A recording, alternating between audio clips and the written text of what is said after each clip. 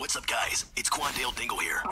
I have been arrested for multiple crimes, including battery on a police officer, What? grand theft, declaring war on Italy, and public indecency.